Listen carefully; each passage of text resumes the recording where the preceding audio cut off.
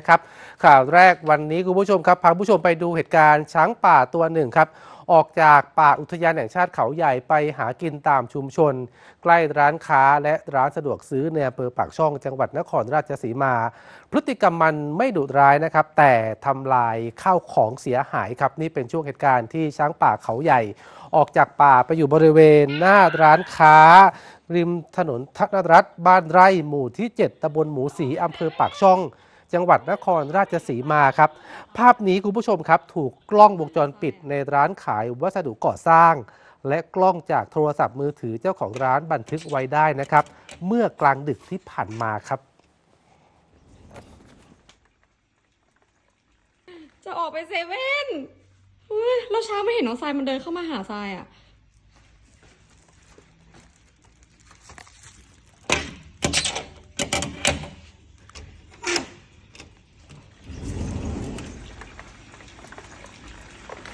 บ๊ายบาย ไอ้อ้วน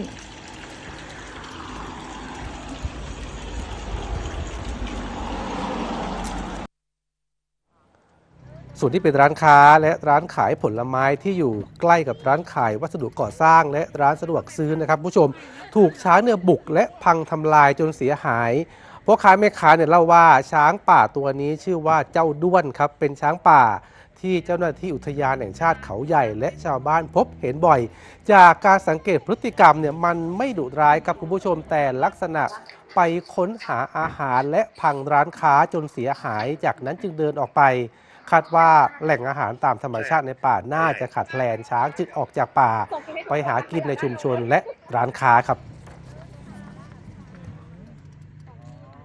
เขาไม่ได้เข้าเพราะเขาเห็นหนูปุ๊บอืม เขาเดินเข้ามาหาแล้วเขาก็หยุดครับ แล้วเขาก็ค่อยเดินมาทางร้านค้าอืมแล้วพอเราหนูก็ค่อยเปิดประตูออก แล้วเราก็ไปเซเว่น ใช่ค่ะตอนแรกหนูก็ดูก่อนว่าเอ้ยเขาจะเดินไปทางไหนอะไรเงี้ยเห็นเขาเดินไปทางนี้ หนูก็เลยเออเดี๋ยวไปซื้อของเซเว่นก่อน พอเดินไปเซเว่นครับ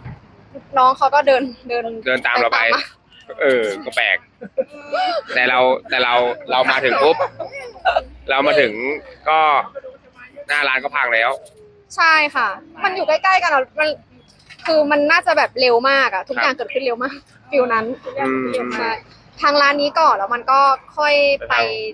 ทางร้านหน้าเซเว่นครับ เป็นร้านส้มตำเอางวงเข้าไปจุกจิกจุกจิกของพัง อืมแล้วก็ค่อยเดินไปร้านยามที่บาร์โอ้แต่ร้านนี้หนักมากเลยโอ้สงสารนะหนักมากเลย อันนี้เราเป็นเจ้าของตรงนี้ใช่ไหมครับ ใช่ค่ะ หลังเกิดเหตุเจ้าหน้าที่อุทยานแห่งชาติเขาใหญ่ได้สำรวจความเสียหายนะครับ และแจ้งเตือนประชาชน หากพบเห็นช้างป่าให้แจ้งเจ้าหน้าที่หรือว่ากลุ่มผลักดันช้างป่าในพื้นที่ทันทีครับ